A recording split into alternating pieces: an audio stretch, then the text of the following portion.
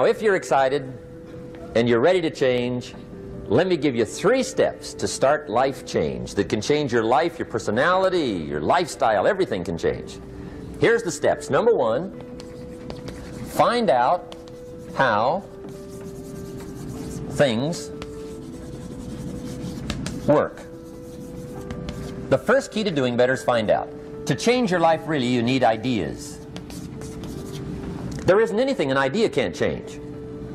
And Shoaff taught me the major problem is lack of an idea, not a problem. At first, I didn't have any money. I said to Mr. Shoaff, I don't have any money. He said, that's not a problem. Now, see, up until then, I always thought it was. right? I was confused. He said, no, no, the problem is lack of an idea on how to create money and wealth. It isn't lack of money, it's lack of ideas. So if you get the ideas, see, you can change anything. Now, to get ideas, you need a constant study of finding out. Now, Shoaff also said, when you find out something that works, put the information in your journal. Don't use your head for a filing cabinet. Put it in your journal so that you can do the next best thing. Repetition, repetition, repetition. Go over it. And if you repeat it, go over it, sure enough, someday, some mysterious day, the idea takes root, starts to grow, and shows up in your bank account, and your dress, and your personality, and your lifestyle. But capture the ideas in your journal. Find out how things work. Shoaff gave me this word for my life change. He said, study. Great word. If you wish to be successful, study success. If you wish to be happy, study happiness. If you wish to be wealthy, study wealth. Don't leave it to chance. Make it a study. Some people just go through the day with their fingers crossed.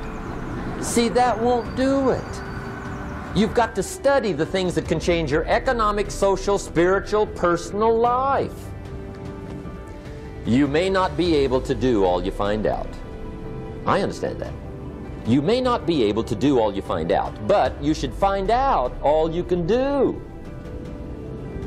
See, you don't want to wind up at the end of your life and discover that you've lived only one-tenth of it. And the other nine-tenths went down the drain. Not for lack of opportunity, for lack of information. So that's number one, find out how things work.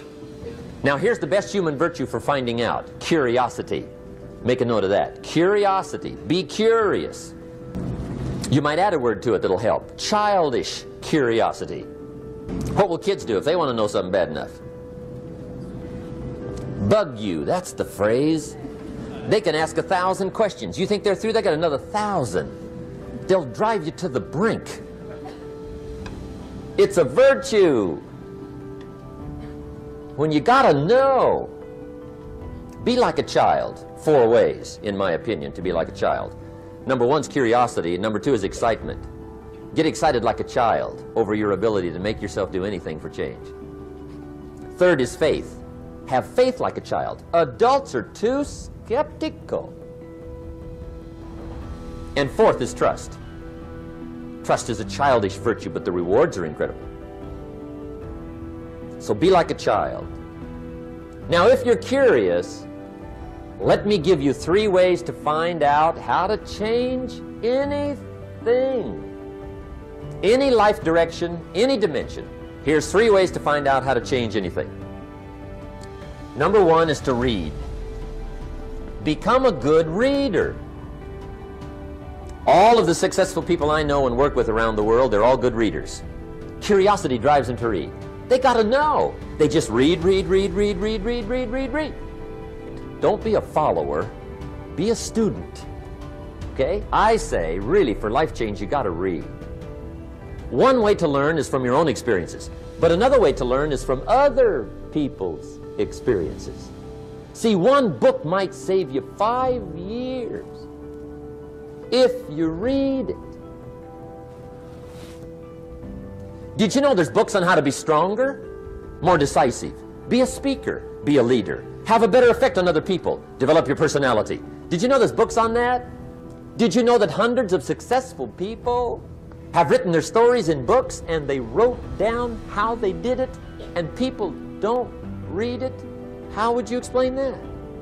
Good worker, hard worker, sincere. But you got to be better than sincere and work hard. Otherwise, at the end of your life, you'll wind up cold, stony broke.